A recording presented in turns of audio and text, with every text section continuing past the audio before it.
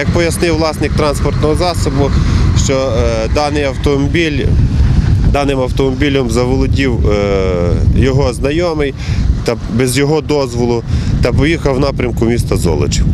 Повідомлення про викрадення автомобіля ВАЗ-21013 червоного кольору отримали працівники Державтоінспекції. Затримали водія і пасажирів, які скористалися чужою автівкою поблизу Зборова. Там інспектори ДПС перекрили дорогу Тернопіль-Львів шлагбаумом та заблокували рух своїм службовим авто.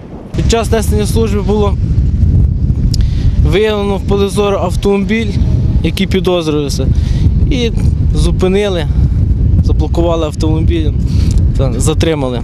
Під час зупинки транспортного засобу е, водії, водії та пасажири опору не чинили. По цьому затриманих передали слідчо-оперативній групі міліції. З початку цього року на Тернопільщині уже зафіксували три крадіжки автівок. З-поміж них дороговартісний Лексус, вітчизняна Славута та Волга. Знайшли і повернули автомобіль лише власнику Волги. Інші дві автівки досі в розшуку. Державтоінспекція закликає власників транспортних засобів бути обачнішими. Не довіряти стороннім особам ключі від своїх автомобілів. Також е, під час залишення своїх власних транспортних засобів користуватися протиугонними засобами.